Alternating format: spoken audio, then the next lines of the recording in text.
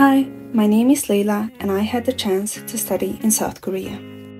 Arriving in Seoul, South Korea was a super exciting and fun time.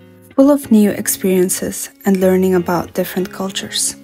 The busy streets, lively markets, and old temples showed me what the city was like. The city has a lot of old customs but also feels very modern. As I walk through the streets filled with unfamiliar things, people, and noises, I am always amazed by how kind and welcoming the Korean people are.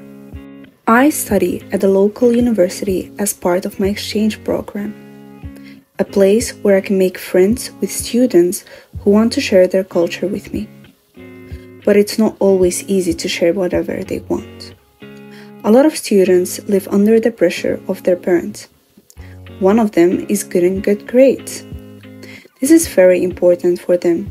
Teachers may face abuse by parents when the grades of their children are not high.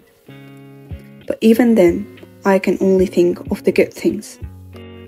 With hardworking classmates around me, I get better grades than ever before. But even though I want good grades, I also enjoy simple things, like walking by the sea or hiking in the mountains. These quiet moments in the busy city of Seoul remind me to enjoy the small happy things in life. Sometimes I will think quietly about how different Seoul is from my home in Belgium.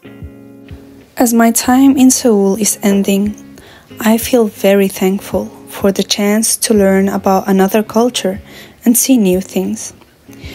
Even though I am excited to go back to Belgium, a part of me will always remember Seoul, a city that shows me how beautiful diversity is.